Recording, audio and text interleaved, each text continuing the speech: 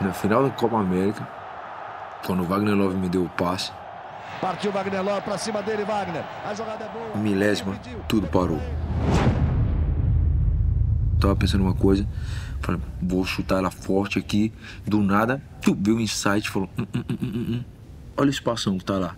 Só chapa ela, vai fazer o gol. Chance do terceiro, bateu cruzado. Gol!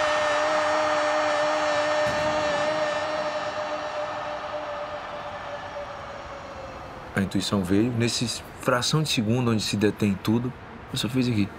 E fiz o gol. Na Copa das Confederações, a mesma coisa. África do Sul, falta. Eu falei, cara, bater por cima da barreira devagarinho aqui, ele não vai pegar.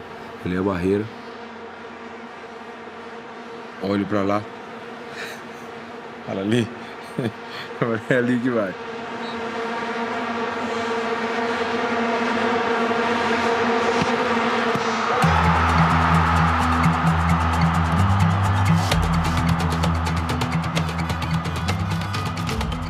É você que está no controle, você que aperta o, o, play, você que aperta o stop, você que aperta o pause. Então, tipo assim, nós temos que ser os que têm o controle, né? Ah, mas tem as consequências. Tudo tem consequência, então. Só precisa saber se é isso mesmo que você quer. Se você sabe que é isso que você quer, você dificilmente vai se equivocar.